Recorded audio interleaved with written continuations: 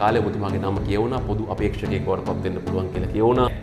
කිසිම දේශපාලන පක්ෂකට මම සම්බන්ධ වෙලා නැහැ. සම්මත වෙනවා පාර්ලිමේන්තුවේදී මාර්ගගත ආරක්ෂණ පනත් කෙටුම්පත ඒ පනත සම්මත වීමේ ක්‍රියාදාමය ගැන ගැටලුවක් තියෙන. පුලේ වහල බොරුවක්ද මේ කරන්න හදන්න. අනිවාර්ය. කොමිසම් සභාවට බලය එනවා එවැනි ප්‍රකාශයක් තහනම් ප්‍රකාශයක් බවට ප්‍රකාශ කරන්න. ඒක හොඳ නැද්ද. නෑ කමෙන්ට්වල දිගටම නිවන්සුව ලැබේවා කියලා දාන්න. ඒ නිසාර නිවන්සුව ලැබේවයි කියල දාව පුද්ගලන්ට දඩුවන් කරන්න පුළුවන්. පාර්මිදුස අධිකරණය යම් දැ මේවට හැප්පිලා තියෙන මතන මෙතන ගැටිලුවක් තියෙනවා නීතිපතිවරයාගේ කාර්යභාරය ගැන. ශ්‍රේෂ්ඨාධිකරණයටත් සීමාවත් තියෙන එක සීකන වරදින්නත් පුළුවන් සාපේක්ෂව. වරදින්නත් පුළුවන්. පොලිසියයි දේශපාලඥයන් අවභාවිතා කරලා තියෙනවා මේ දිගින් දිගට මේ නීති අවභාවිතා කරලා කාඩද මේ රට ප්‍රජාන්ත්‍රවාදය බිඳවට අවශ්‍යතාවති වර්තමාන ජනාධිපතිවරය සාමාන්‍ය විවාහරය කිවෝ මේ ව්‍යවස්ථාදායක සභාවට තගදානවා. අධිකරණය තීන්දු විවේචනය කරන්න පුළුවන් මේ රටේ තියෙන ප්‍රධාන ගැටිවත්තමයි. මේ රහසිගතව නීති හදන එක. අගෝෂකාර ඇතුළුව ඇතුළු දාහදාහත් දෙනෙක් කිරපේශ අධිකරන සුරු මේ දාහත් දෙනාම අපක්ෂපාතිය අයද. ඒ අපේ අපේ මේ නීති ක්‍රමතියන අඩුපාඩුවක් බර බලවත් අඩුපාඩුවක්. විනිශ්ෂකාරවරුන්ගේ වගවීම තහවුරු කරන්න ක්‍රමවේදයක් නැතිවී.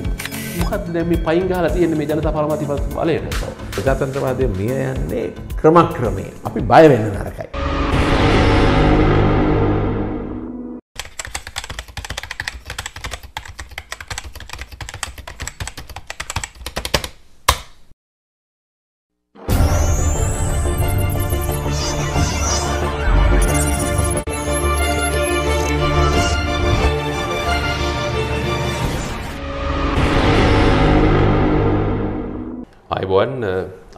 අද දවසේදී සම්බන්ධ කරගත් අබ පූර්වචාරක පටේ දැක්කා රටේ නීතිය පිළිබඳව දැඩි කතාබහක් සමාජයේ නිර්මාණය වී තිබෙන වෙලාවක නීති අනපනත් විශේෂයෙන්ම ව්‍යවස්ථාදායකය සහ විදායකය පිළිබඳ කතාබා ඇතුළේ අධිකරණයත් ඒකත් එක්ක යම් ආකාරයකින් ගට්ටනවීමක් පිළිබඳ අදහසක් සමාජයේ නිර්මාණය වී තිබෙන වෙලාවක අපි සම්බන්ධ කරගත්තා ශ්‍රී ලංකා නීති සංගමේ හිටපු සභාපති ජනපති නීතිඥ සාලිය පිරිස් මහත්ම අපේ සාකච්ඡාවට අයබෝන් කියලා ඔබතුමා පිළිගන්න. අයබෝන්. සාකච්ඡාවට ප්‍රවේශ වෙන්න කලින් අහන්න ඕනේ පහුගිය කාලේ ඔබතුමාගේ නම කියවුණා පොදු අපේක්ෂකයෙක් බවට පත් වෙන්න පුළුවන් කියලා කියවුණා අරගලයට යම් පැත්තකින් නායකත්වය ලබා දුන්නා සහයෝගය ලබා දුන්නා කියලා කියවුණා. මොකද්ද මේ ඒ කතන්දරෙ සිද්ධ වුණා? නෑ මම ඒක පැහැදිලිව කියලා තියෙනවා. එහෙම කිසිම දේශපාලන අරමුණකින් නෙවෙයි මම කටයුතු කරේ. ශ්‍රී ලංකා නීතිඥ සංගමය සහ සමස්ත නීතිඥ ප්‍රජාව ඒ වෙලාවෙ තිබුණු ජනතාවගේ ප්‍රජාතන්ත්‍රවාදී අයිතිවාසිකම් ආරක්ෂා කරන්න ආරක්ෂා කරන්න කිරීම සඳහා අපේ වගකීම තමයි අපි ඒ වෙලාවේ ඉෂ්ට කරේ. එතකොට අරගලය කියන්නේ ජනතාවගේ අදහස් ප්‍රකාශ කිරීමේ නිදහස රැස්වීමේ නිදහස කේන්ද්‍ර වෙච්ච දෙයක්. තොට ඒ එතනදී ජනතාවගේ අයිතිවාසිකම් වලට එරෙහි වෙච්ච අවස්ථාවලදී ජනතාව ආරක්ෂා කරන්න තමයි නීතික ප්‍රජාව කටයුතු කරේ. එදා ඔබතුමාලේ ආරක්ෂා කළ දෙන හද ප්‍රජාතන්ත්‍රවාදය නිදහස පුද්ගල අයිතිවාසිකම් අද ආරක්ෂා වෙලා තියෙනවද. ඇත්ත වශයෙන්ම අද ප්‍රජාතන්ත්‍රවාදී අවකාශයට තර්ජනයක් තියෙනවා. ජනතාවගේ ප්‍රජාතන්ත්‍රවාදී අවකාශයට තමුන්ගේ අදහස් ප්‍රකාශ කිරීමට රැස්වීමේ නිදහසට විශේෂෙන් විසම්මුතියේ අයිතිය ක්‍රියාත්ම කිරීම සම්බන්ධය පැහැදිලිව තර්ජනයක් තියෙනවා. ඒ නිසාම තමයි ජනතාව මේ ගැන අවදි වෙලා සිටිය යුත්තේ. මම මේ කාරණාවහන්නේ හැම දෙයක්ම රටේ ජනතාව දේශපාලනික මුණුවරකින් දකින හින්දා ඔබතුමාට යම් ආකාරයක දේශපාලන මතවාදයක් තියෙන්න පුළුවන් ඡන්දේ ලකුණු කරනකොට කාටද ලකුණු කරන්න පුළුවන්. මේ වෙලාවේ ක්‍රියාත්මක දේශපාලන මතධාරාවක් නැත්නම් දේශපාලන පක්ෂයක් වෙනුවෙන් ඔබතුමා කේන්ද්‍රගත වෙලා ඉන්නවද? නැහැ. කිසිම දේශපාලන පක්ෂයකට මම සම්බන්ධ වෙලා නැහැ. සම්බන්ධ වෙන බලාපොරොත්තුවකුත්. එහෙම බලාපොරොත්තුවක් නැහැ. අර බුද්ධිමත් පුරවැසියන්ගේ ස්වභාවය ක්‍රියාවට නංවමින් සුදුසු ප්‍රතිපත්ති විසඳුම් යෝජනා ඉදිරිපත් කරන දේශපාලන ප්‍රවාහයට කතිර ලබා දෙන සූදානම්. අනිවාර්යයෙන්. ඒක තමයි ඔබේ සහ සහ මම හිතන හැටියට මේ රටේ ප්‍රජාතන්ත්‍රවාදය ආරක්ෂා කරන්න ඕනේ. මොකද ප්‍රජාතන්ත්‍රවාදයට ලොකු විශාල තර්ජනයක් තියෙනවා. තවමත් ලංකාව ප්‍රජාතන්ත්‍රවාදී රටක්. නමුත් අපි පරිස්සංගුණේ නැත්තන් මේ ප්‍රජාතන්ත්‍රවාදය මිය යන්න පුළුවන්. හොඳයි. මම දැන් අ, එනවා අර ගැඹුරු කාරණා ටික අහන්න. පසුගිය දවසක සම්මත වෙනවා පාර්ලිමේන්තුවේදී අ, මාර්ගගත ආරක්ෂණ පනත් කෙටුම්පත්. අපි ඔන්ලයින් සේෆ්ටි බිල් එක කියලා බොහෝ දෙනෙක් හඳුන ගන්නවා සිංහලෙන් කතා කරනට වඩා.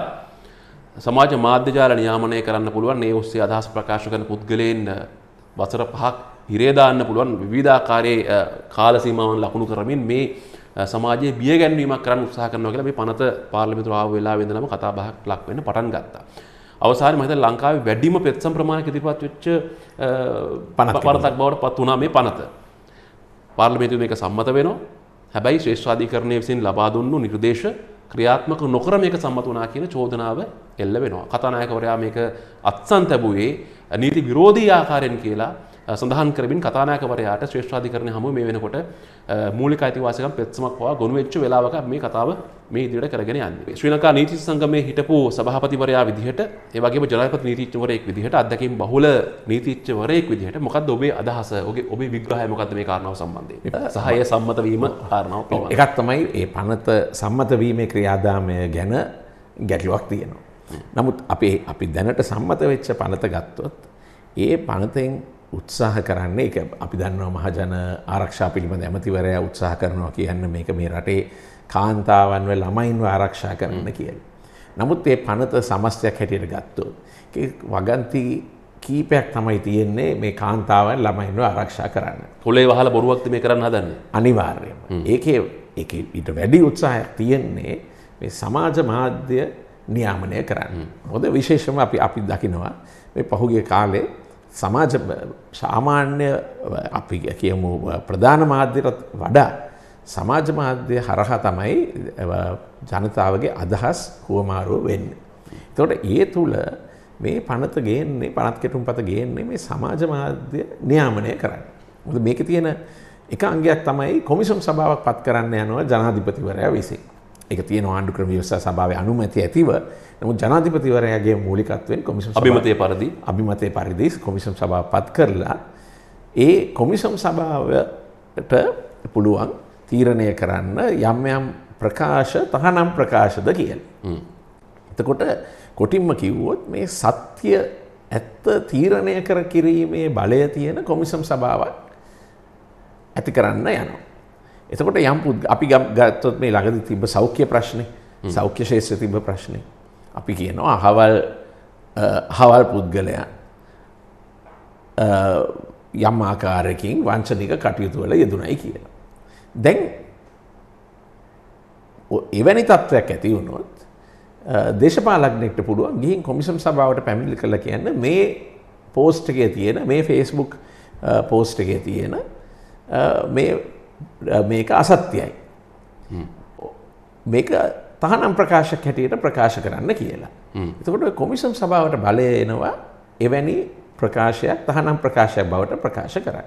එහෙම කරලා කොමිසම් සභාවට හැකියාව ලැබෙනවා මේ ක්‍රියා කරවන්න මේ සමාජ මාධ්‍ය ක්‍රියා කරවන්න සමාගම් ලංකාවේ නෙවෙයි මේ සමාගම් තියෙන්නේ ඒ සමාගම් වලට නිවේදනයක් යවන්න මේක නවත්තන්න කියලා. විධානයක් කියලා තමයි තියෙන්නේ විධානයක් යවන්න.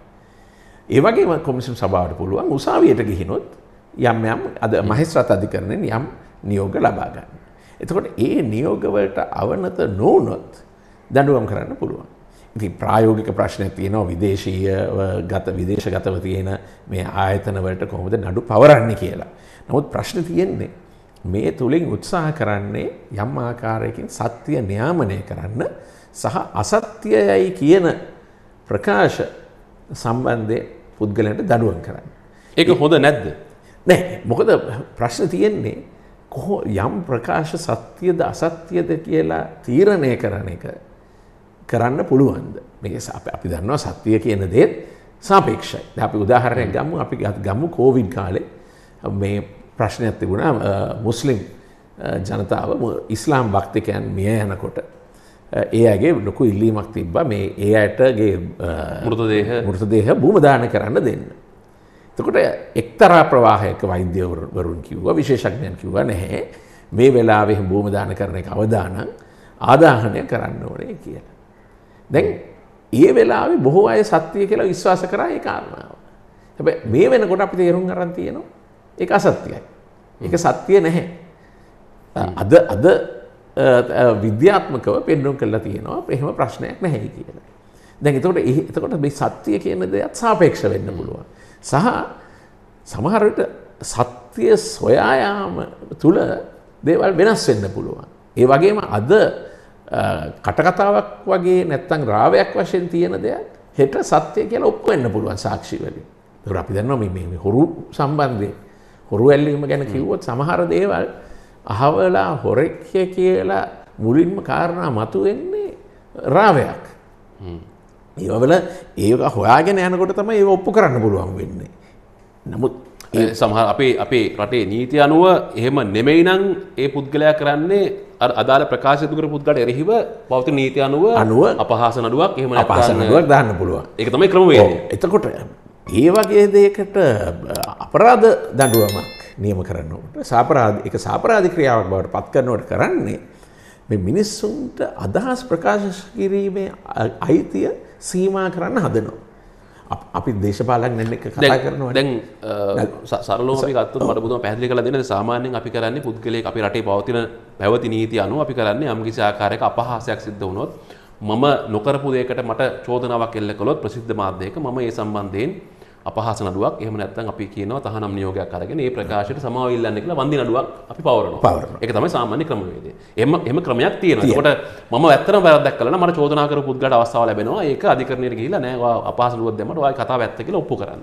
දැන් ඔබතුමා කියන්නේ මේ ඒ කාර- කාරණාව සම්පූර්ණයෙන්ම බැහැර කරලා මට චෝදනාවක් එල්ල වෙලා තියෙනවා කියලා කිව්ව සැනින්ම අර කොමිසමට බලය තියෙනවා අර ප්‍රකාශය ප්‍රකාශය තහනම් ප්‍රකාශය බවට පත් කරලා ඕන හිරේ දාන්නත් පුළුවන්. ඔව් ඒක හරි කොමිසම් සභාවට හිර දාන්න බෑ නඩු පවරන්න. නඩු පවරන්න පුළුවන් ඒතර අපි දන්නවා මේ නඩු පැවරීම සමහරු පුළුවන් කබය බය වෙන්න දෙයක් නැහැනේ නඩු පවරලා උසාවියේ නඩු අහලා ඒක ම- විනිශ්චයකාරවරයෙක්නේ තීරණය කරන්න කියලා. නමුත් අපි දන්නවා සා මේ රටේ සාමාන්‍ය මිනිස්සෙක්ට අත්අඩංගුවට අරගෙන නඩු පැවරීමේ ක්‍රියාදාමයකට මුහුණ දෙන්න උනොත් ඒ සමහර අය තීරණය කරයි තමුන්ගේ අදහස් ප්‍රකාශ නොකර ඉන්න.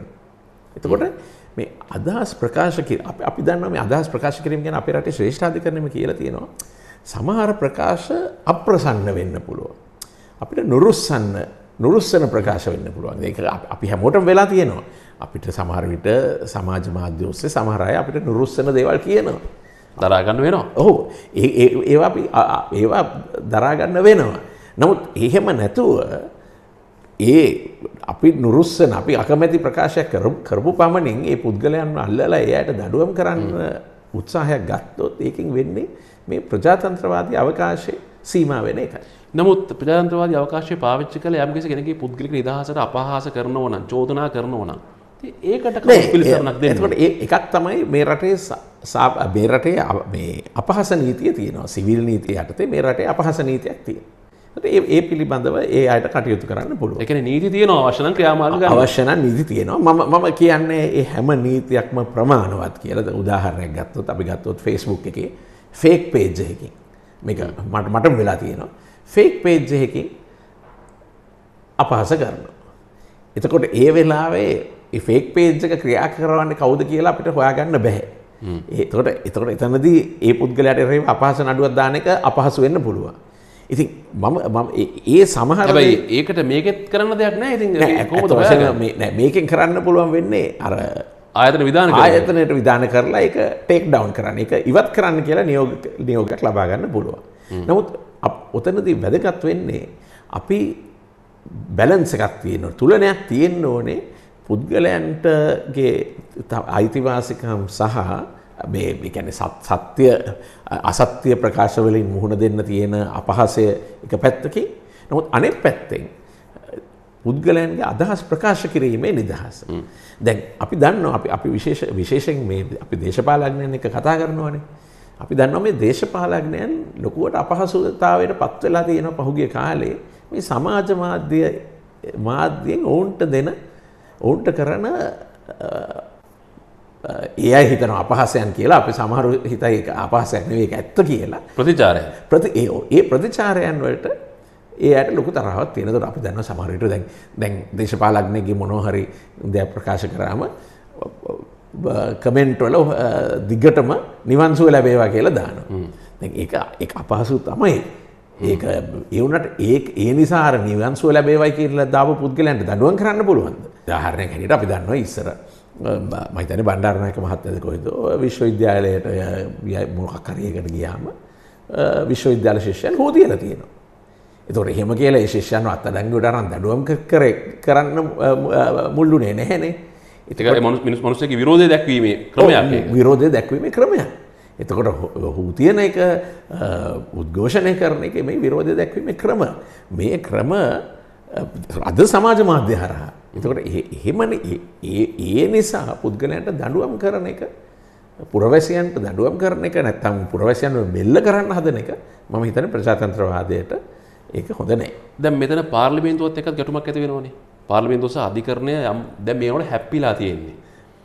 මොකද හේතුව අර ශ්‍රේෂ්ඨාධිකරණය ලබා දුන්නු සමහර වෙලාවට තුනෙන් දෙක බහුතර බලයකින් සහ ජනමත විචාරණයකින් සම්මත කළ යුතුයි කියලා කිව්ව වගන්ති පවා කතානායකතුම අස්තන් කළා දැන් ඒක ඇත්ත වශයෙන්ම මේකේ මේකේ මත දෙකක් තියෙනවා. කතානායකතුමා කියනවා නීතිපත්තුමත් කියනවා නෑ නෑ ශ්‍රේෂ්ඨාධිකරණය තීන්දුව අනුව තමයි මේවා සකස් කරේ කියලා.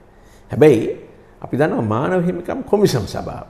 අපේ ශ්‍රී ලංකා මානව හිමිකම් කොමිසම් සභාව හිටපු ශ්‍රේෂ්ඨාධිකරණ විනිශ්චයකාරවරයෙකුගේ ප්‍රධානත්වයෙන් කටයුතු කරන්නේ ස්වාධීන ආයතනයක්. මානව හිමිකම් කොමිසම් සභාවම ප්‍රකාශයන් නිකුත් කළා කියලා තියෙනවා සමහර ඇතැම් වගන්ති ශ්‍රේෂ්ඨාධිකරණයේ තීරණයට පටහැනිව තමයි සකස් කරලා තියෙන්නේ කියලා. නමුත් මම හිතන මෙතන ගැටලුවක් තියෙනවා නීතිපතිවරයාගේ කාර්යභාරය ගැන. මොකද නීතිපතිවරයා නීතිපති නීතිපතිවරයාත් මම හිතන්නේ ඔය නඩුවේ චූදිතේ වගඋත්තරකරුවේ. වගඋත්තරකාරයෙක්. නමුත් නීතිපතිවරයා සහතික කරන්න ඕනේ පාර්ලිමේන්තුව තුල කාරක සභා අවස්ථාවේදී මේක ආණ්ඩුක්‍රම ව්‍යවස්ථාවට අනුකූලයි කියලා. කතානායකතුමා කියනෙත් ඒක. ඔහු කියන්නේ නීතිපතිවරයා මේක තහවුරු කළා ව්‍යවස්ථාවට අනුකූලයි කියලා තහවුරු කළා දුන්න නිසා තමයි අස්සම් කරේ. ඒ නිසා මම හිතන්නේ නීතිපතිවරයාගේ කාර්යභාරය ගැන ප්‍රශ්න ප්‍රශ්නයක් තියෙනවා ම ඒ නඩුවක් තියෙන නිසා ඒ ගැන එතනින් එහාට මම කියන්න කතා කරන්න කැමති නෑ නමුත් ශ්‍රේෂ්ඨාධිකරණයේ තීරණයකට ගරු කරන්න ඕනේ. ඒක එක පැත්ත. අනික එක තමයි කොහොමුණත් අපි තේරුම් ගන්න ඕන දේ තමයි මේ ශ්‍රේෂ්ඨාධිකරණය ව්‍යවස්ථානුකූලභාවය පිළිබඳව ලබා දෙන තීරණත් තීරණවල යම් සීමාවන් තියෙනවා. අපි කවුරුහරි හිතනවා නම් ශ්‍රේෂ්ඨාධිකරණය දැන් තීරණයක් දීලා තියෙන නිසා මේ පනත ප්‍රශ්නයක් නැහැ කියලා. එහෙම නැත්නම් අපි කියමු ශ්‍රේෂ්ඨාධිකරණය තීරණයක් දෙනවා මේ මේ වගන්ති සංශෝධනය කරන්න කියලා.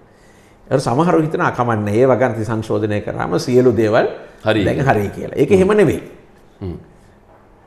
මේ අපි අපි තේරුම් ගන්න ඕනේ අධිකරණයේ විනිශ්චය විනිශ්චයකාරවරුන් තීරණ දෙන්නේ. ඉතිහාසය පුරා විනිශ්චකාරවරුන් තීරණය දෙනකොට සමහර විට කාලයක් යනකොට ඒ තීරණ වෙනස් වෙලත් තියෙනවා. මේක මට හොඳ උදාහරණයක් තියෙනවා එංගලන්තේ නඩුවක් තිබ්බ ලිවසිජ් ඉදිරිව ඇන්ඩර්සන් කියලා. ඒ යුද්ධ කාලේ මේ රැඳවුම් නියෝග සම්බන්ධයෙන්. ඒකේ විනිශ්චකාරවරුන් මම හිතන්නේ 6 දෙනෙක් හෝ 7 දෙනෙක් ආන් රජයේ පැත්ත අරන් තීරණයක් දුන්නා. එක විනිශ්චකාරවරයෙක් විතරක් ඇට්කින් සාමිවරයා විතරක් අනෙක් පැත්තට තීරණයක් දුන්නා මේක මේ රැඳවුම් නියෝගය ලබා දීපක වැරදි කියලා. වැරදි විතරක් නෙවෙයි ඒ තනි විනිශ්චකාරවරයා ඉතාමත් දැඩි දැඩිව තීන්දුවක් දුන්න අනික් පැත්තට රජයට එරහිව. ඒ කාලේ ඒ විනිශ්චකාරවරයාව පැත්තකට තියලත් තිබ්බ ඒක නිසා. හැබැයි අද අවුරුදු 70කට විතර පස්සේ අද පිළිගන්නවා අර තන තනි විනිශ්චකාරවරයාගේ තීරණය තමයි නිවැරදි අනෙක් හය හත් දෙනාම වැරදි තීරණයක් දුන්නේ කියලා. එනිසා මම මේ කියන්න උත්සාහ කරන්නේ ශ්‍රේෂ්ඨාධිකරණය තීරණයක් දීපු පමණින් පනත් කෙටුම් පතක් පිළිබඳව ඒකෙන් අදහස් වෙන්නේ සියලු දේ යහපත් වෙලයි කියලා. ඒක ඒක පැහැදිලිව අපි තේරුම් ගන්න ඕනේ. ශ්‍රේෂ්ඨාධිකරණයටත් සීමාවක් තියෙනවා. එක සීමාවක් වරදින්නත් පුළුවන් සාපේක්ෂව. වරදින්නත් පුළුවන්. අපි සමහරේව එකඟ නොවෙන දේ තීරණ වෙන්නත් පුළුවන්. අපි වට ගරු කරන එක වෙනම කතාව ඒක ඒ අපේ සම්ප්‍රදායනුව අධිකරන සම්ප්‍රදායනුව එකට ගරු කළ යුතුයි. එකට ගරු කළ යුතුයි. නමුත් අපි අපි දන්නවා ඔය තීරණය ආණ්ඩුක්‍රම විවස්ථා සභා පනත් කෙටුම්පත් පිළිබඳව තීරණ පරිශීලනය කිරීමෙන්ම පේනවා සමහර ඒවා. කාලයාගේ ඇවෑමෙන් අධිකරණය අදහස වෙනස් වෙච්ච අවස්ථා තියෙනවා. ඒ වගේම තමයි ශ්‍රේෂ්ඨාධිකරණයට බලන්න පුළුවන් ව්‍යවස්ථානුකූල භාවය ගැන. මේ පනත් පනත හොඳද නරකද කියලා ශ්‍රේෂ්ඨාධිකරණයට තීරණය කරන්නත් බෑ. ඉතින් මේ ඔන්ලයින් සේෆ්ටි පනතවෙන් පනත වෙන්න පුළුවන් දැන් අර ත්‍රස්ත වීරු ප්‍රතිරස්ස පනත් කෙටුම් පත වෙන්න පුළුවන් මේ හැම එකකම අපි ශ්‍රේෂ්ඨාධිකරණයේ තීරණය බලන්නත් ඕනේ ඒක ඕනේ. ඒ ඕනෙනුත් බලන්න ඕනේ ඉතින් එහෙම තිබේලත් ශ්‍රේෂ්ඨාධිකරණය තීරණයේ අන්තර්ගතයට සීයට සීයක් ගරු නොකර පනත් කෙටුම් පතක් සම්මතක වෙනවන ඒක මහිතන මේ රටේ ප්‍රජාතන්ත්‍රවාදයට ලොකු ප්‍රශ්නයක් මොකද පනත සම්මත වනාට පස්සේ ඒ පනත බල රහිත කරන්න අධිකරණයට බලයක් නෑ. ඉන්දියාවේ බලය තියෙනවා. දැන් පනත සම්මත වෙලා තිය ඕ එතකොට දැන් ඒ දැන් කොහොමද මේ තියෙන ගැටලු සහගත තත්ත්වය නිරාකරණය කරන්නේ? කොට එපා එහෙමනම් ඒ පනත සංශෝධනය කරන්න ඕනේ. ඒක පාර්ලිමේන්තුවේ සංශෝධනය කරන්න ඕනේ. අනිත් දැන් මේ වැරදක් සිද්ධ වෙලා තියෙනවා නම් දැන් මෙතන දැන් අපි නඩුවක් නිසා අපි ඒ නඩුව පැත්තකින් තියමු. නමුත් කතානායකවරයා මේ විදියට වැරදි තීන්දුවක් අරන් තියෙනවා. දැන් ලංකාවේ ඉතිහාසයේ මේ වගේ ව්‍යවස්ථා සංශෝධන පිළිබඳව කතා වෙනවා. මගේ මතකයේ නිවැරදි නම් මම වැරදි නම් නිවැරදි නම් 14 වෙනි ආණ්ඩුක්‍රම සංශෝධනයේ ජාතික ලෑස්තුව සම්බන්ධයෙන් මතුවෙච්ච කතා බහත් ඒ වගේ අර්බුදයක් බවට පත් වී තිබෙනවා. පාර්ලිමේන්තුවට ඉදිරිපත් කරපු පනත නෙමෙයි සම්මත වෙලා තියෙන්නේ අර තරඟ නොකරපු අයටත් පාර්ලිමේන්තු මන්ත්‍රීවරුන් බවට පත්වෙන්න ලිස්ට් එකේ හිටපු නැති අයටත් පාර්ලිමේන්තු මන්ත්‍රීවරුන් බවට පත්වෙන්න අවකාශය ලැබෙන පරිදි මේ පනත සංශෝධනය කරගත්ත චෝදනාවක්. එහෙම චෝදනාවක් එහෙම තර්කයක් තියෙනවා. නමුත් ආපහු දැන් සම්මත කරාට පස්සේ නීතිගත වුණාට පස්සේ ඒ නීතිය බලරහිත කරන්න අධිකරණයට බලයක් නැහැ. එතනම ගැටලුව. ඔව්. එක අවස්ථාවද පාර්ලිමේන්තු බොහම අවස්ථාවාදී වෙන අවස්ථාවක් මේ තියෙන්නේ එහෙම වුණා නම් ඕ ඉති එතනදි ප්‍රශ්නති ඒ නිසාමයි මේ මේ නීති සෑදීමේ ක්‍රියාදාමය හැම්වලේම මේ මේ ලහිලහියේ එක්ස්ප්‍රස් ක්‍රමයට කරන්න නරකයි. දැන් එංගලන්ත ගත්තොත් එක්සත් රාජධානය මේ ඔන්ලයින් සේෆ්ටි පනත අවුරුදු හතක කාලයක් අරගෙන සාකච්ඡා පවත්වල තමයි ඒ පනත ගෙනල්ල තියෙන. ඒ ඒ පනතේ ප්‍රතිපාදන පාවිච්චි කළ අපි දැක පහුගේ දවස්වල ප්‍රධාන සමාජමාධ ජාලා ආයතනවල සකබර්ගල පවා අරගෙනැවිල්ල විත්තිකුරුණ කළ ප්‍රශ්න කරනවා. ඕ ඇත ඇත්ත වශයෙන්ම දැක් දැන් ඇමරිකක්ෂ ජනපද දැන් අපි තේරුම් ගන්නත් ඕනේ මේ සමහර නීති දැන් සමහරගෙන එංගලන්තෙත් තියෙනවා යුරෝපෙත් මේ නීති තියෙනවා. නමුත් අපේ අපි තේරුම් ගන්න ඕනේ මේ නීති මේ හා සමානනීම නීති නෙවෙයි. නමුත් යම් නීතියක් වෙන රටක තිබ්බ පමණින් ඒක ලංකාවට එහෙමම ගෙනල්ල හඳුනලා දෙන්න බැහැ. මොකද ඒ රටවල් වල තියෙන පරිසරය. සමාජ වටපිටාව. සමාජ වටපිටා ආර්ථික දේශපාලන දේහේ ස්වභාවය. සහ පොලිසිය. විශේෂයෙන්ම පොලිසිය මීට වඩා වෙනස්. අපකට අපි ත්‍රස්වාද වැලක්වීම පනත ගත්තත් අපි දැක්ක පොලිසියයි දේශපාලඥයන් අවභාවිතා කරලා තියෙනවා මේ දිගින් දිගට මේ නීති අවභාවිතා කරලා තියෙනවා. ඉතින් අපිට මේ මේ රික්තකයක වගේ ඉඳගෙන මේ නීති දිහා බලන්න බෑ. මේ නීති දිහා අපි බලන්න ඕනේ මේ රටේ දේශපාලන අධිකාරය. මේ රටේ පොලිසිය මේ නීති කොහොමද ක්‍රියාත්මක කරන්නේ. ප්‍රායෝගික ප්‍රායෝග අපි දන්නවනේ අපි අපි දන්නවා. ආණ්ඩු ඇමතිවරුම පිළි අරන් තියෙනවා පොලිසිය සමහර විට පුද්ගලයන් කුඩු දාලා අත්තඩංගුවට ගන්නවා ඒ අයගේ ගාව කුඩු නැහැ නොත් පොලිසියෙන් කුඩු දාලා නඩු පවරන ඕන තරම් අවස්ථා තියෙන අපි නීතිශය අධ නීතිශේත්‍ර ඉන්න අපි දන්න අධිකරන විනිශකාරවරුණුත් දන්නවා ඒක එහෙම සිද්ධි වෙලා තියෙනවා. ඉති ඒ ඒ වගේ පොලිසියක් එක්ක ශ්‍රේෂ්ඨාධිකරණයම කියලා තියෙන පොලිසිය වෘතිය භාවය නැහැ. මහජන විශ්වාසය බිඳිලා තියෙනවයි කියලා. එතකොට එවැනි පසුවීමක් යටතේ මේ වගේ මර්ධනකාරී නීති ගෙනකොට මේ රටේ ප්‍රජාතන්ත්‍රවාදයට ලොකු තර්ජනයක් තියෙනවා. කාඩද මේ රට ප්‍රජාතන්ත්‍රවාදය බිඳවට අවශ්‍යතාව තියෙන්නේ මුතුම දකින විදිහට. මම තනි පාර්ශවයකට නෙවෙයි බහු පාර්ශවයන් ඉන්න මේ රටේ ප්‍රජාතන්ත්‍රවාදය බිඳ දමන්න අවශ්‍ය කරන පාර්ශව. ඒ කියන්නේ ප්‍රිය නොකරන පිරිස. ප්‍රිය නොකරන පිරිස. විශේෂයෙන්ම මම දකින්නේ බලේ ඉන්න පිරිස. තමයි විශේෂයෙන්ම ප්‍රජාතන්ත්‍රවාදී අයිතීන් අවකාශ සීමා කරන්න හදන්න.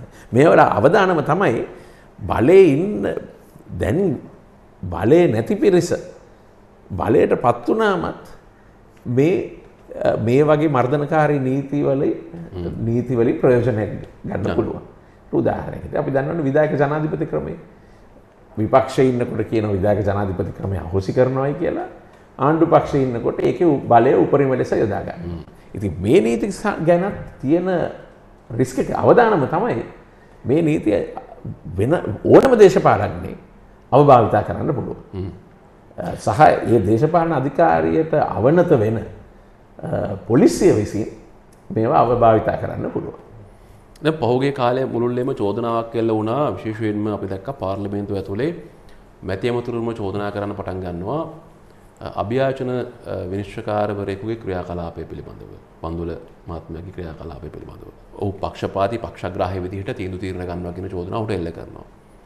ඊට පස්සේ ඔහුගේ නම යෝජනා වෙනවා ශ්‍රේෂ්ඨාධිකරණ විනිශ්චයකාරවරයෙක් බවට පත් කරන්න ඕන කියලා ජනාධිපතිවරයා විසින් ව්‍යවස්ථාදායක සභාවට නම ප්‍රතික්ෂේප වෙනවා. දැන් එතනත් නඩුවක්.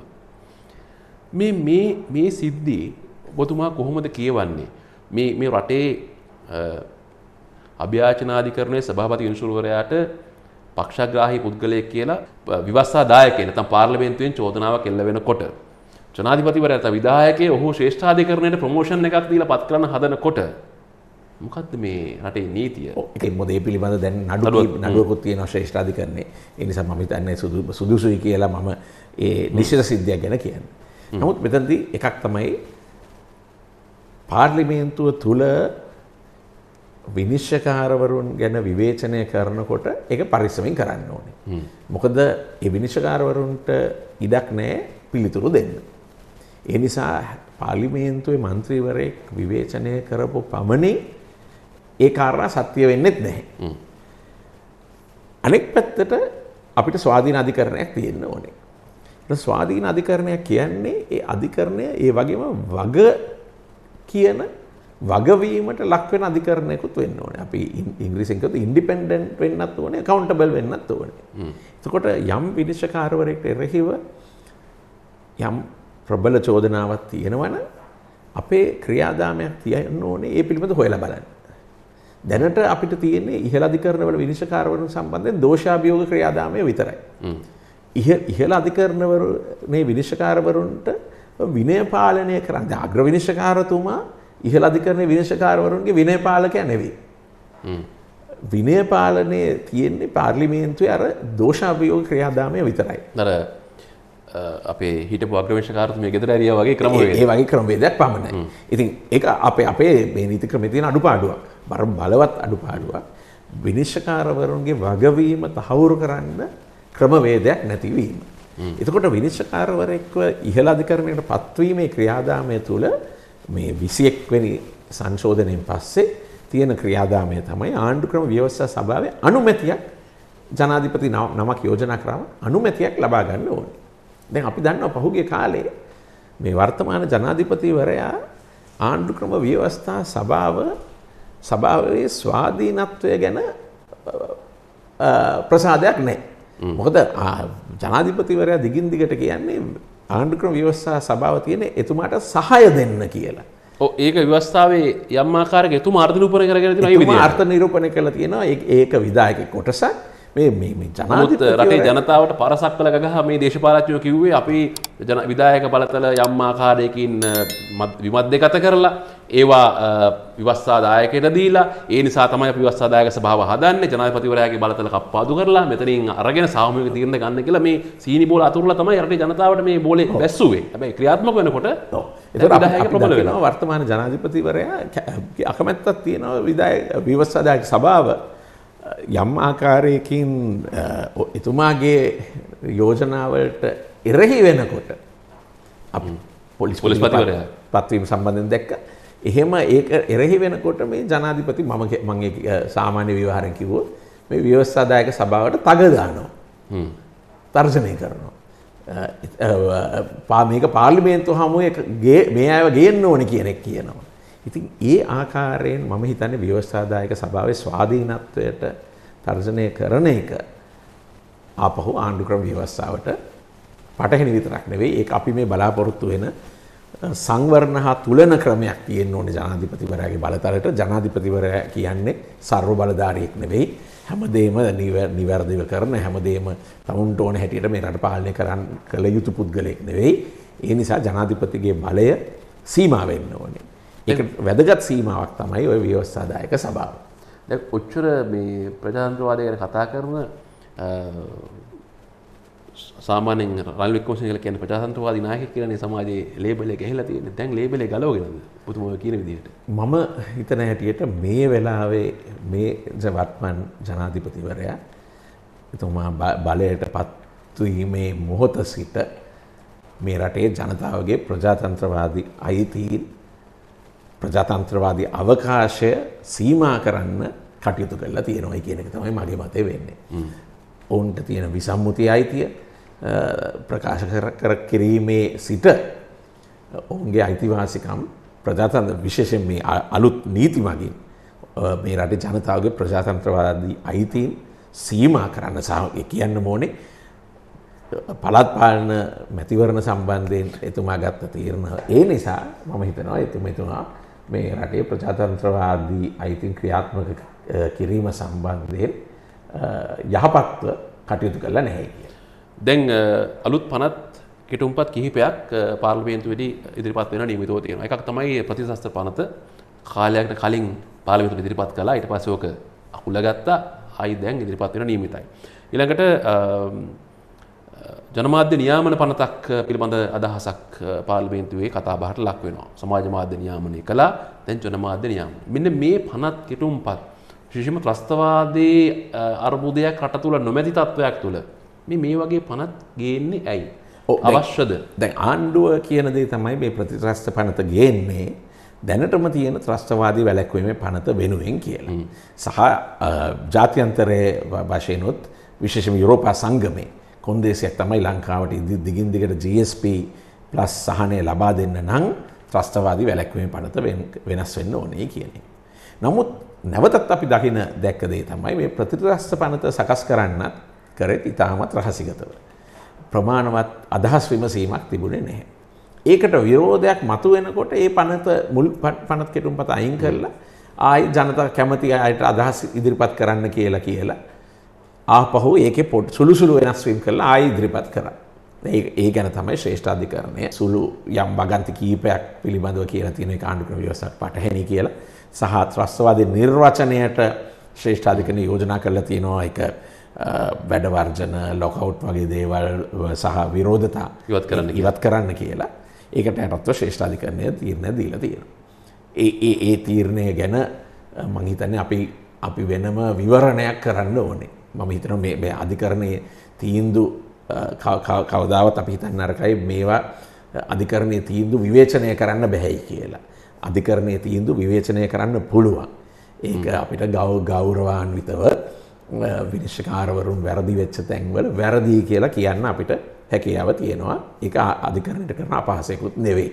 ඉතින් ඔය ප්‍රතිත්‍රස්ත පනත් කෙටුම් පත සම්බන්ධයෙන් ශ්‍රේෂ්ඨාධිකරණය දීපු තීරණය මම හිතන්නේ ඉදිරියේදී අපි ඒක අධ්‍යයනය කරලා විවරණයක් කළ යුතුමයි.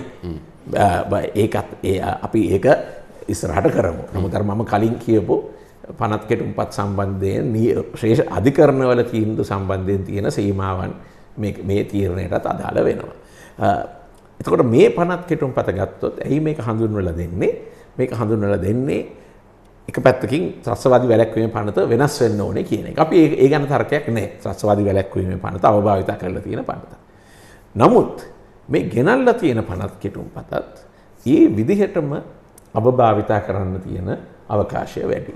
උදාහරණයක් හැටියට මේ අලුත් පනත යටතේ යුද හමුදා ත්‍රිවිධ හමුදා නිලධාරීන්ට පුළුවන් ත්‍රස්වාදී චෝදනා මත පුද්ගලයන්ව අත්අඩංගුවට ගන්න. රැඳවුම් නියෝග ත්‍රස්වාදී පනතයට තිබ්බ කාලවකවානුවට වඩා අඩුයි නමුත් රැඳවුම් නියෝග මුලින්ම මාස දෙකක් දක්වා රඳවන්න පුළුවන්. ඒ මාස දෙක තුළ බහිස්ත්‍රාත්වරයට තියෙන අභිමතය ඉතාමත් සීමිතයි. සමහරු තර්ක කරනවා මහේස්ත්‍රාත්වරයට ඒ වෙලාවෙත් යම් අභිමතයක් තියෙනවා කියලා. නමුත් ඒක ඒ වචන දිහා බලනකොට ඉතාමත් සීමිතයි. මාස 12ක් දක්වා රැඳවුම් භාරය පත් කරන්න පුළුවන්. ජනාධිපතිවරයාට පුළුවන් සංවිධාන තහනම් කරන්න.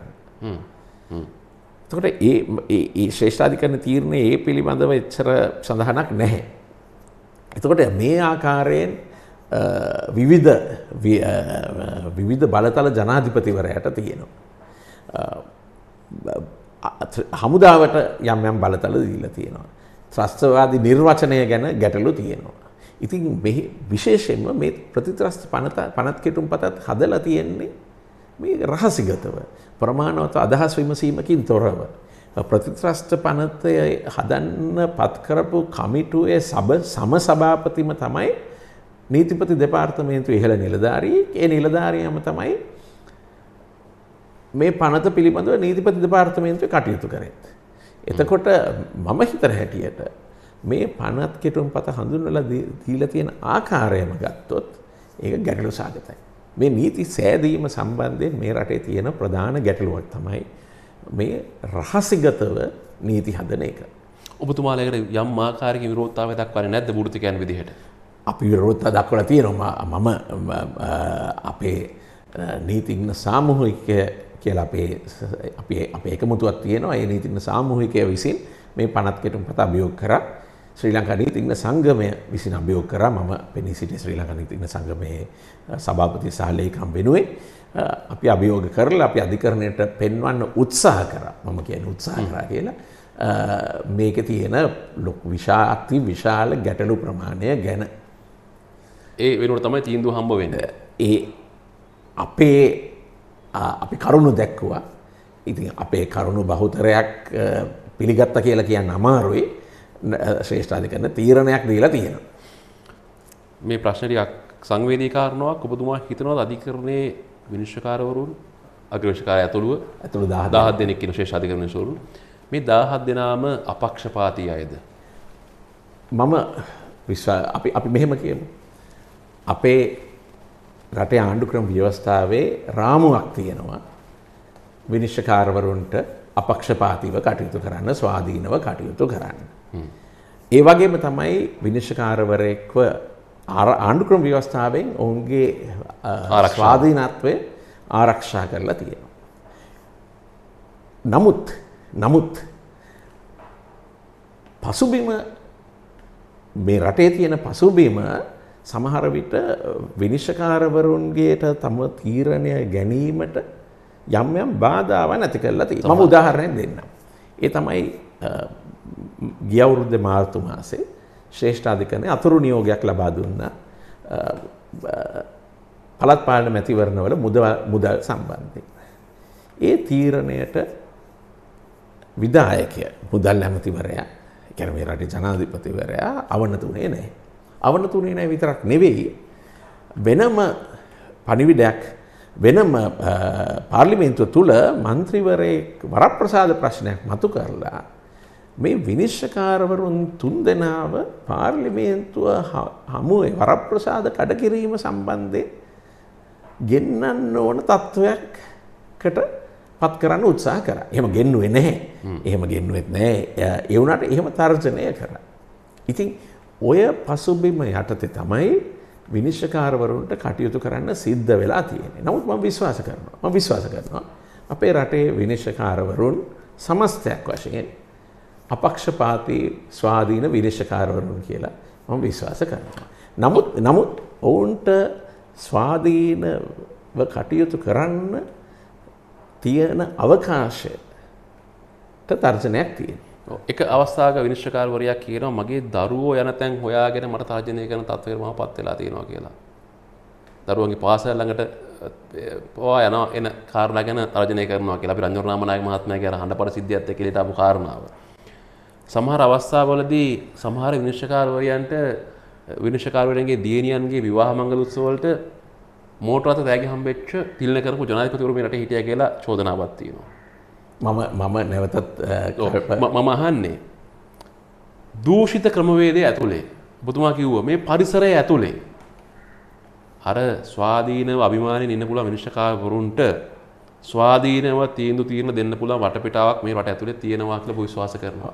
මම විශ්වාස කරනවා විනිශ්චකාරවරයෙක්ට ස්වාධීන මිනිසුන්ගේ පිහිට එච්චරයි අවසානයේ. ඒක අනිවාර්යයි. එහෙම එහෙම යම්මාකාර තාජනයක් තියෙනවා මිනිස්සු ඔක්කොම එකතු වෙලා ඒ මිනිසුන්ගේ ඒ නීතිඥවරුන්ගේ විනිශ්චයකාරවරුන්ගේ ආරක්ෂාව තහවුරු කරන්න ඕන.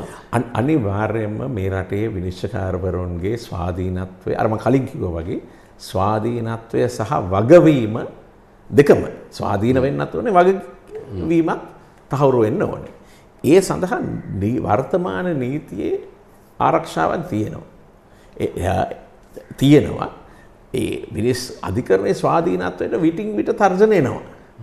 හැබැයි මම විශ්වාස කරන දේ තමයි ඒ විනිශ්චකාරවරුන්ට ශක්තිය හයිය තියෙන්න ඕනේ කොන්ද තියෙන්න ඕනේ කියලා ඒ තමුන්ගේ ස්වාධීනත්වයට එරෙහිව එන අභියෝගවලට මුහුණ දෙන්න. එහෙම තියෙනවද අපේ අයට? මම විශ්වාස කරනවා තියෙනවා කියලා මට උදාහරණ හැටියට අතීතයෙන් උදාහරණ මම දෙන්නම්. අ, අග්‍ර විනිශ්චකාර නලින් පෙරේරා විනිශ්චකාරතුමා පත් කරලා මාසයක් ඇතුළත තමයි පාර්ලිමේන්තුව නීති විරෝධීව විසිරුවා හැරියේ. අ, හිටපු ජනාධිපති මෛත්‍රීපාල සිරිසේන මැතිතුමා. ඒ වෙලාවේ ශ්‍රේෂ්ඨාධිකරණය දවස් කීපයක් ඇතුළත තහනම් නියෝගයක් දීලා ඊළඟට එට මාසයක් ඇතුළත තී නඩු තීන්දුවක් දීලා විසිරුවා හැරීමේ නියෝගය අවලංගු කරා. ඔය කාලෙම තමයි අභ්‍යාචනාධිකරණයේ විසින් මහින්ද රාජපක්ෂ අගමැති එවකට අගමැතිවරයාගේ දූරය අත්හිටෙව්වේ. සහ කැබිනට් මණ්ඩලයේ දූරය අත්හිටෙව්වේ. ඔන්න බලය ඉන්න ආණ්ඩුවකට විරුද්ධව අ- අධිකරණය දීපු තීන්දුවක්. මම හිතනවා මගේ ඉතාමත් වැදගත් මින්මක් තමයි මේ අධිකරණයේ ස්වාධීනත්වය සම්බන්ධයෙන්. පුද්ගලයන් බලයේ ඉන්නකොට ඒ අයට විරුද්ධව කොහොමද අධිකරණය කටයුතු කරන්න කියන එක ඒක ඉතාමත් වැදගත් මෙම්මක්. ඉතින් මම මම මම විශ්වාස කරනවා ඒ හයිය මම ප්‍රාර්ථනා කරනවා ප්‍රාර්ථනා කරනවා ඒ හයිය අපේ විනිශ්චකාරවන්ට තියෙන්න ඕනේ කියලා. හිටපු අග්‍ර විනිශ්චකාරවරයෙක් නෙවිල් සමරකෝන් මහත්මයා තව හොඳ උදාහරණයක් අපේ අධිකරණයේ කොච්චර ශක්තිමත්ව කටයුතු කරාද කියන එකට හොඳ උදාහරණයක්. නෙවිල් සමරකෝන් අග්‍ර විනිශ්චකාරවරයාව පත් කරේ ජයජයවදන ජනාධිපති. එවකට නෙවිල් සමරකෝන්ව පත් කරන්නේ පුද්ගලික නීතිඥ මණ්ඩලේ කෙලින්ම අග්‍ර විනිශ්චකාර කරන්නේ. ජයජයවදනට ඉතා හිතවත් අ, නීතිඥයෙක් රාජනීතිඥයෙක්. එතුමා ඉතාමත් අපක්ෂපාතිව කටයුතු කරා. එක වෙලාවක අපක්ෂපාතිව කටයුතු කරපු නිසාම ඔහුව දෝෂාභියෝගයට ලක් කරන්න උත්සාහයක් ගත්තා. නමුත් එහෙම කරේ නැහැ. ඉතින් විවිධ තර්ජන එනවා. නමුත් අපේ නෙවිල් සමරකෝන් මහ අග්‍රවිනිශ්කාරතුමා කියලා තියෙන එකක් තමයි විනිශ්චකාරවරේ තමුන්ගේ කොන්ද කඩාගත්තොත් ආපහු ඒ කොන්ද හදන්න කිසිම ශල්්‍ය වෛද්‍යවරයෙක් නැහැ කියලා ලෝකෙම ඒ වගේම ඒ දීපු තීන්දුව තීරණ ආපස්සට හරවන්නත් බෑනේ අපේ රටේ අපි අග්‍රවිනිශ්චකාරවරු සමහර වෙලාවට සමාව භජනය කරපු අවස්ථා අහලා තියෙනවා. අහලා තියෙනවා. ඒ වගේම නමුත් මම මම හිතනවා සමස්තයක් හැටියට ගත්තොත් සමස්තයක් හැටියට ගත්තොත් මේ රටේ ජනතාවට තියෙන විශේෂයෙන්ම අපි දන්නවා විධායකය සහ විස්- ව්‍යවස්ථාදායකය ගැන තියෙන විශ්වාසය විදිලා තියෙන මොහොතක.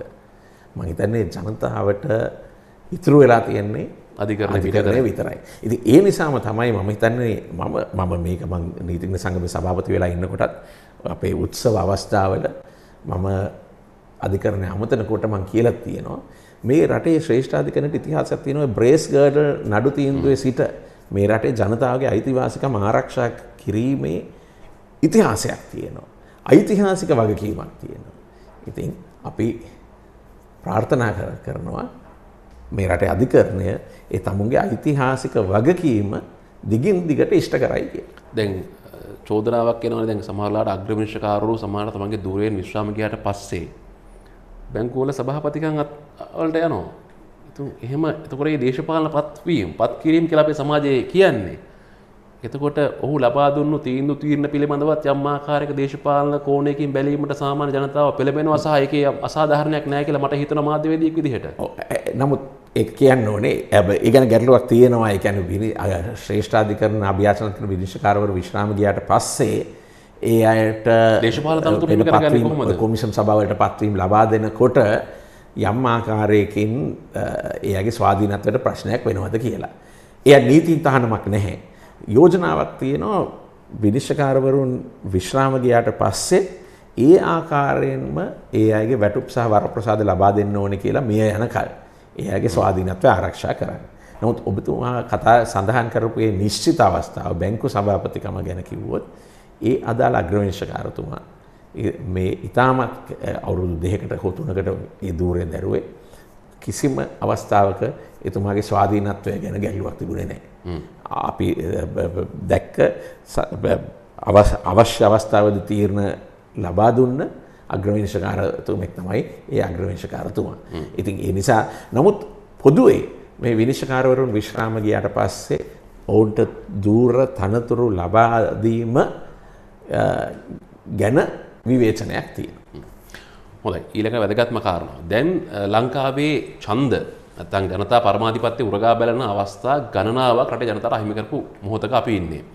විශේෂයෙන්ම පළාත් අ, සභා ඡන්ද විමසීම වසර හතරකට වඩා වැඩි කාලයක් ප්‍රමාදයි. මම හිතන්නේ ඊටත් වඩා වැඩි සමහර පළාත් අ, ප- අ, මේ පළාත් සභාවල දුර කාල ඒ ඒ කාල සීමාව නහෝසි වෙලා. ඊළඟට පළාත් පාලන ආයතන ඡන්ද විමසීම ඔබතුමා කලින් සඳහන් කළා වගේම ගැසට් නියෝගය නිකුත් කරලා නාම යෝජනා බාර අරගෙන මේ සියල්ල ලෑස්ති වෙනකොට සීමා නිර්ණ කතන්දර එක එක දේවල් පැටලිලා ඒකත් ඔන්න කල් ගිහිලා තියෙනවා. දැන් මේ පාර කියනවා ඔන්න ජනාධිපතිවරණය පවත්වනවා මහමැතිවරණය තියෙනවා කියලාත් කතාවක් එනවා ඊට පස්සේ කියනවා ඔව් ජනාධිපතිවරණය මේ අවුරුදු තියන්නේ නැතුව ඉස්සෙල්ලා මහමැතිවරණයක් තියන්න තමයි ලෑස්ති වෙන්නේ කියලා. මේ ජනතා පරමාධිපත්‍ය තමයි රටක උත්තරීතරම බලය. එක එක්කෙනාට සෙල්ලම් දාන්න පුළුවන් කමක් නැහැ. ජනතා පරමාධිපත්‍ය අපි තමයි වැඩෝ කියලා මිනිස්සු හිතාගෙන ඉන්නේ. මොකද්ද දැන් මේ පයින් ගහලා තියෙන්නේ මේ ජනතා පරමාධිපත්‍ය බලයට? ඔව්. ඇත්ත වශයෙන්ම ඡන්ද මැතිවරණ පවත්වන එක නීති අනුව තියන්න ඕනේ. එතකොට පළාත් සභා ප- අ, මැති පළාත් සභා ඡන්ද මැතිවරණ ඡන්ද විමසීම් කල් දැම්මේ පාර්ලිමේන්තුවේ සංශෝධනයක් ගෙනවා ඒ පනතට.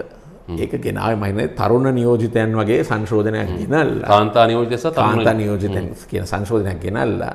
කාර්ක සභාවස්ථාවේදී ඒක සම්පූර්ණයෙන් ඊට වඩා වෙනස් වෙනස් කරලා ඒක ප්‍රතිඵලයක් හැටියට දැන් පළාත් සභා අකර්මණ්‍ය වෙලා තියෙනවා.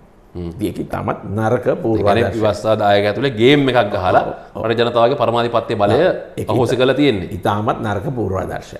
එතට පළත් පාලන ආයතන චන්ද විමසීම් ගැන අපහු ශ්‍රේෂ්ඨාධිකරණය නඩුවක් තියෙනවා.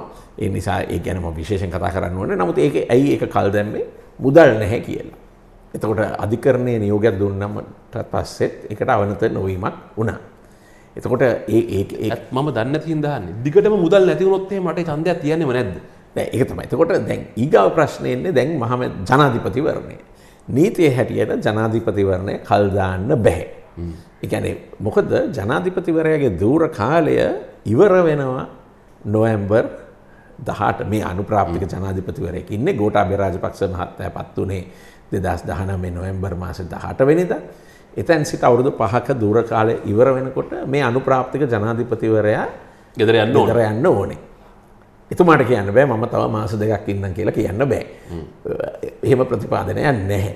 ඒ නිසා ජනාධිපතිවරණේ සැප්තැම්බර් සහ ඔක්තෝබර් මාස අතර පවත්වන්න ඕනේ. ඇත්තටම ජනාධිපතිවරණේ ප්‍රතිඵලය ප්‍රකාශ පත් වෙච්ච අවස්ථාවේදී අලුත් ජනාධිපතිවරයා තෝරාපත් වෙනවා. ඒතර අපි පහක් කිව්වර ඇත්තට පහට වඩා අවුරුදු පොඩ්ඩක් අඩු වෙනවා ජනාධිපතිවරයාගේ දූර කාලය. එතකොට ඒ ඒ තත්ත්වය යටතේදී ජනාධිපතිවරයාගේ දූර කාලය දීර්ඝ කරන්න නම් පාර්ලිමේන්තුවේ විශේෂ බහුතරයක් සහ ජනමත විචාරණයකින් අනුමැතිය ලබා ගන්න පනත් කෙටුම්පතක් ගේන්න ඕන. ඒකට ඔන්න දැන් කසේ ගහනවා විදායක ජනාධිපති ක්‍රමය අහෝසි කිරීම ඒක සම්බන්ධයෙන් අහෝසි කතාව. කරන්නත් විදායක ජනාධිපතිවරය දූරය අහෝසි කරන්නත් ශ්‍රේෂ්ඨාධිකරණය කලින් තීන්දුව දිහා බැලුවොත් තුනෙන් දෙකක් සහ ජනමත විචාරණයක් අවශ්‍ය වෙනවා. එතකොට ඒ වගේ නීතියක් නීතිගත වෙන්නේ අර ජනමත විචාරණයේ ප්‍රතිඵල ඉවර නිකුත් වුණාට පස්සේ. එහෙම නැතුව ජනාධිපතිවරයාගේ දූර කාලය දීර්ඝ කරන්නවත් විදායක ජනාධිපතිව දූරය අහෝසි කරන්නවත් ඉඩකඩ නැහැ. එහෙම කරනවා නම් එතකොට ඔබ කල්ප ඇහුවා ප්‍රශ්නයක් මුදල් නෑ කිව්වොත් මොකද වෙන්නේ කියලා.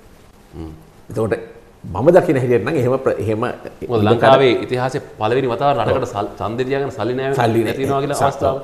මෙහෙම අවස්ථාවක් ඇවිල්ලාම. ඇවිල්ලාම නෑ. ඉතින් එහෙම මම දකින්නේ නීතිය එහෙම- මං හිතන්නේ නැහැ කිසිම නෑ, ප්‍රතිපාදනයක් සම්බන්ධ ඇති කියලා. ප්‍රතිපාදනයක් නෑ මේක ආණ්ඩු ක්‍රම පළාත් පාලන ඡන්ද විමසීම් වලටත් වඩා වෙනස් වෙන්නේ මේ ඡන්ද ජනාධිපතිවරණය ගැන ඒක සාක්ෂාත් වෙන්නේ ආණ්ඩු ක්‍රම ව්‍යවස්ථාවෙන්මයි.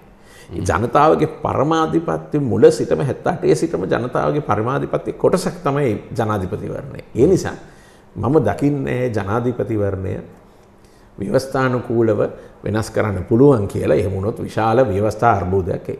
එහෙම වෙන එහෙම ඔය බලෙන් වෙනස් කරනවා නම් එහෙනම් ඒක කුමන්ත්‍රණයක් බවට පත් වෙනවා. ඒක ඇත්තටම මේ ව්‍යවස්ථා විරෝධී කුමන්ත්‍රණයක් බවට පත් වෙනවා. ඉතින් මේ රට කවදාවත් එතනට ගිහින් නැහැ.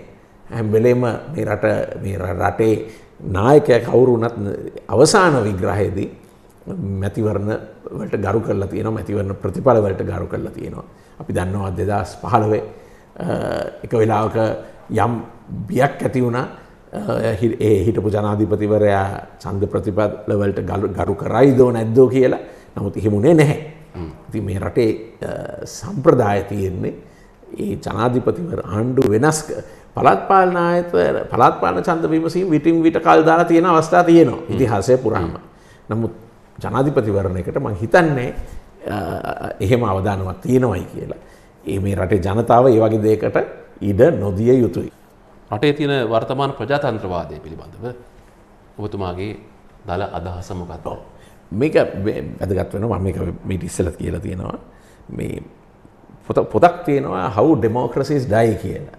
ප්‍රජාතන්ත්‍රවාදය මිය යන්නේ කොහොමද? මේ ප්‍රජාතන්ත්‍රවාදය තවදුරටත් මිය යන්නේ විප්ලව වලින් හරි කුමන්ත්‍රණ වලින් හරි නෙවෙයි. අද ප්‍රජාතන් මේ පොතේ කියන ආකාරයට ප්‍රජාතන්ත්‍රවාදය මිය යන්නේ ක්‍රම ක්‍රමක්‍රමයෙන් ආයතන දුර්වල කළා අධිකරණය දුර්වල කළා ප්‍රජාතන්ත්‍රවාදී සම්ප්‍රදායන්ට ගරු නොකර තමයි ප්‍රජාතන්ත්‍රවාදය හෙමින් හෙමින් මරලා දාන්නේ. දැන් ඒක තමයි අපි වළක්වන්න ඕන එක. මම දකින හැටියට මේ පනත් කෙටුම්පත් මේ ආයතන දුර්වල කරන එක අධිකරණයට තර්ජනය කරන එක ආණ්ඩුක්‍රම ව්‍යවස්ථා සභාවට තර්ජනය කරන එක දේශපාලන සම්ප්‍රදායන් වලට ගරු නොකරන එක මේ ක්‍රමක්‍රමයෙන් මේ දේශපාලඥයන් උත්සාහ කරන්නේ සමහර දේශපාලඥයන් උත්සාහ කරන්නේ ප්‍රජාතන්ත්‍රවාදය දුර්වල කරලා ඒකේ ප්‍රතිඵලය වෙන්න පුළුවන් කවදා හරි ප්‍රජාතන්ත්‍රවාදය මිය යන එක. එතකොට වාසනාවකට අද අපි තවමත් ප්‍රජාතන්ත්‍රවාදී රටක්. මම දන්නේ අපි තරු පහේ එකක්ද කියලා නමුත් අඩු ගානේ මම හිතන්නේ තරු තුනක්වත් අපිට දෙන්න පුළුවන් වෙයි මේ වෙලාවේ. නමුත් අපි පරිස්සම් වුණේ නැත්තම් අපි හැමෝම අපි වෘත්තිකයන් මාධ්‍යවේදීන් මේ රටේ ජනතාව අපි අවධානයෙන් ඉන්න ඕනේ අපේ ප්‍රජාතන්ත්‍රවාදයේ අයිතීන් ආරක්ෂා කරන්න. දැන් ඇත්තම කාරණාව අපි සමාජ එක්තරා මට්ටමක විශේෂයෙන්ම මාධ්‍යවේදීන් යම් ප්‍රමාණයක් ඒ වගේම නීතිඥ ප්‍රජාව ඒ වගේම විවිධ වෘත්තිකයන් යම් ශ්‍රේෂ්ඨයක පිරිසක් මේ කාරණා සම්බන්ධයෙන් යම් ආකාර දැනුවත් භාවයක් තියෙනවා. නමුත් සමාජයේ බොහෝ පිරිසක් මේ මේ රටේ නීතිය පිළිබඳව ප්‍රජාතන්ත්‍රවාදී අයිතිවාසිකම් පිළිබඳව මූලික අයිතිවාසිකම් පිළිබඳව තියෙන සාක්ෂරතා ඥානය ඊටාම පල්ලෙහා තැනක තියෙන්නේ. ඔබතුමා කියන්නකෝ ජනපති නීතිවරයෙක් විදිහට රටේ ජනතාවට දෙන්න පණිවිඩයක් අපි කොහොමද අපේ වටපිටාව අපසරය ආරක්ෂා කරගන්න ඕනේ පුද්ගලයෝ විදිහට අපේ විරෝධතාවයන් පළ කරන්න ඕනේ කොහොමද? ඒකද අපි ආරක්ෂා කරන්න ඕනේ ආචාර ධර්මයේ සීමාවන්, නෛතික සීමාවන් මොනවද කියලා අපිට කියන්නකෝ පැහැදිලි අදහස. මම හිතන දේ තමයි එකක් තමයි අපේ විවේචනය සාධාරණ වෙන්න ඕනේ. ඒ කියන්නේ අපි අපි කරන විවේචනයන් ඒක ශක්තිමත් විවේචනය කරන්න පුළුවන් පුද්ගලයන්ට අපහාස කරන්නේ නැතුව පුද්ගලයන්ට අපහාස කරන්නේ නැතුව අපිට විවේචනය කරන්න පුළුවන්. එන සාක්ෂි සාධක අතේ තියාගෙන. ඔව් සාධක අතේ තියාගෙන එකක්. දෙවන එක තමයි අපි ප්‍රචණ්ඩත්වයට යා යුතු නැහැ. මොකද ප්‍රචණ්ඩත්වයට යනකොට අපේ විරෝධය ප්‍රකාශ කරන්න එක කොහෙන් කෙලවර වෙයිද කියලා අපිට කියන්න බෑ. අපි දන්නවා එහෙම ප්‍රචණ්ඩත්වයට ගිය අවස්ථාවල වෙන්නේ ඒකට ප්‍රතිරෝධයක් එනවා. ප්‍රතිරෝධයක් ඇවිල්ලා සමහර විට අර අපි කියනවා මේ අර ප්‍රති විප්ලවයක් නිර්මාණය වෙනවා. ඉතින් ඒ නිසා ඒ අපි ප්‍රචණ්ඩත්වයට නොයා අපේ අදහස් ප්‍රකාශ කරන්න පුළුවන්. නමුත් අපි බය වෙන්න නරකයි. මොකද එකක් තමයි අපි මම කියන්න ඕනේ මේ මේ මේ පනත් ගේනවනේ මේ මේ ඔන්ලයින් සේෆ්ටි පනත මේ ඔක්කොම කරලත් මම හිතන්නේ මේ රටේ ජනතාවගේ අදහස් ප්‍රකාශ කිරීමේ අයිතිය නැති කරන්න පුළුවන් කියලා. මම කල්ප එක උදාහරණයක් දෙන්න 1977 මහමැතිවරණය. බණ්ඩාරනායක මැතිනියගේ ආණ්ඩුව 70 සිට 77 තුල දවස පත්තරයට සියල් තිබේ කාලෙ ප්‍රබල ස්වාධීන පුවත් පතකට තිබේ දවස පත්තරේ දවස පත්තරේ සියල් තිබ්බ. ඊගාවට ලේක් හවස් එක. විජයවර්ධන පවුලට අයිති වත්මන් මයිතනය ජනාධිපතිවරයාගේ මවත් ඒ අධ්‍යක්ෂක මණ්ඩලෙ හිටිය. ඒ ලේක් හවස් එක රජයට පවරගත්තා. දැන් ඔක්කුවම මාධ්‍ය ඒ කාලේ රූපහිනීම නෑ. ශ්‍රී ලංකා ගුවන් විදුලි සංස්ථාව විතරයි තියෙන අපිත් ප්‍රවෘතියන්නේ ගුවන් විදුලි සංස්ථාවේ. මේ ඔක්කෝම කරලත් බණ්ඩාරනායක මැතිනයට බැරි වුණා ජනතාවගේ ඒ ඇතිවෙච්ච විරෝධය නවත්තන්න. අන්තිමට ඒ මහමැතිවරණ අවසන් වෙනකොට ශ්‍රී ලංකා නිදහස් පක්ෂ ආසන අටකට අඩුවන. අයම් පහක බලයක් හිම කර ගන්න පැත්තේ. එතොට ඊට අවුරුදු හතකට කලින් තුනෙන් දෙක බල ඇත්ති. ගොට අබ රාජපක්ෂ ජනාධිපතිතු වෙච්චදේ. ඔච්චර අවුරුදු දෙකක් තුළ මහජන මතය වෙනස් වෙච්ච ආකාරය. ප්‍රේමදාස මහත්තය මිය යනකොට ප්‍රේමදාස මහත්තය මිය යන සිද්ධිය අපිට ආරංචි වෙන්නේ කටකතාවලින්. මගේ ගෙදර කවුරු හරි ඇවිල්ලා අපේ ගෙදරට කවුරු හරි ඇවිල්ලා කිව්වා ජනාධිපතිතුමා මැරලයි කියලා. රූපවාහිනියේ නිවුස් වලට ඒක දැම්මේ පැය දෙකකට විතර පස්සේ. ඒ වෙනකොට අපි දන්නවා සිද්ධිය. ඉතින් මේ රටේ මේ මේ ජනමාධ්‍ය පාලනය කරයි කියලා මේ රටේ ජනතාවගේ අදහස් හුවමාරු වෙනක නවත්තන්න බෑ. මේවා ඒ නිසා මම තාම මම මම හිතනවා මේ රටේ ජනතාවට ඒ හයිය තියෙනවයි කියලා. නමුත් අපි හැම වෙලේම අවදිව ඉන්න ඕනේ අපේ ප්‍රජාතන්ත්‍රවාදී අයිතීන් වෙනුවෙන් අපි ඡන්ද අයිතිය වෙනුවෙන් අපි හඬක් නගන්න ඕනේ. මේවට අපි බය බය වෙලා අපිට පෞද්ගලිකව වෙන්න පුළුවන් හානිය ගැන හිතලා අපේ අදහස් ප්‍රකාශ කිරීමේ අයිතිය සීමා කරගන්න ඕනේ නෑ. ඒ වෙනුවෙන් මම හිතන මේ රටේ වෘතකයන්ට වගකීමක් තියෙන එක සවිශේෂයෙන් කියන්න ඕනේ කල්ප මේ රටේ වාණිජංශය කෝපරේට් සෙක්ටර් එක ඉතාමත් ඒ අය උනන්දුවක් ගන්න නැහැ මේ රටේ ප්‍රජාතන්ත්‍රවාදය අයිතින් ආරක්ෂා කරන්න තමුන්ගේ ව්‍යාපාරික සම්බන්ධකම් ආරක්ෂා කරන්න හදනවා මිස මේ රටේ ප්‍රජාතන්ත්‍රවාදී අයිතින් ආරක්ෂා කරන්න ඒ අය උත්සාහ කරන්නේ නැහැ. ඒක වෙනස් වෙන්න ඕනේ. ඒ ආකල්පමය වෙනසක් තියෙන්න ඕනේ මේ රටේ. නමුත් මම හිතන්නේ අපි පුරවැසියන් හැටියට අපි නොබියව අපේ අදහස් ප්‍රකාශ කිරීමේ අයිතිය අපේ ප්‍රජාතන්ත්‍රවාදී අයිතිය ආරක්ෂා කරන්න අපි කටයුතු කරන්න ඕනේ. හොඳයි බොහොම ස්තුතියි ඔබතුමාට ඔබටත් දල අදහසක් අපිට අවශ්‍යන ලබා දෙන රටේ තියෙන වර්තමාන තත්ත්වය පිළිබඳව විශේෂයෙන්ම නීතිඥ ප්‍රජාවයේ කියවීම මම හිතනවා ලබා ගන්න පුළුවන් නම් මේක හොඳයි කියලා රටේ ප්‍රජාතන්ත්‍රවාදයේ යම් යම් ස්ථාන පිළිබඳව ආන්දෝලනාත්මක කතාබහක් නිර්මාණය වී තිබෙනවා. ව්‍යවස්ථාදායක විධායකය සහ අධිකරණය සම්බන්ධයෙන් ඒ වගේම ඒ අංශ තුන ප්‍රධාන මුල්ගල් තුන එක්ක අද කතා කරන මාධ්‍ය හතරට බලකනු විදිහට අපි කතා කරන්නේ. මේ ඒකත් දැන් අභියෝගයට ලක් වී තිබෙන වෙලාවක අපි කොහොමද පුරවැසි විදිහට අපේ කාර්යභාරය සිද්ධ කරන්න? අපේ කාර්යභාරය මොකක්ද? පුරවැසි කාර්යභාරය මොකක්ද කියන කාරණාව පිළිබඳව ඔබ දැනුවත් කරන්න අපිට අවශ්‍ය වුණේ. ඉතින් මේ කතා බහ වුණු කරුණු කාරණාවලින් ඔබේ ජීවිතේට වැදගත් වෙන දේවල් එකතු කර ගැනීම ඔබට බාර කරනවා. නැවත වතාවක් ඉස්සුගේ බුදුන් අපිත් එක්ක සම්බන්ධ වුණාට වඩාත් ඉස්සුතෙත් එක්ක එකතු වුණාට